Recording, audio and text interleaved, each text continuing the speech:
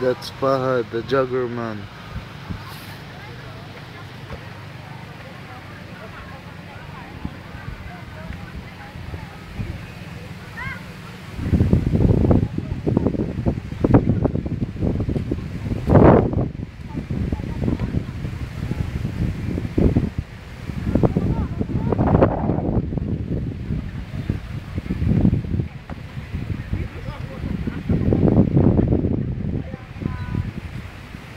The SEA Games was held there before. Philippine Ascal was playing also there.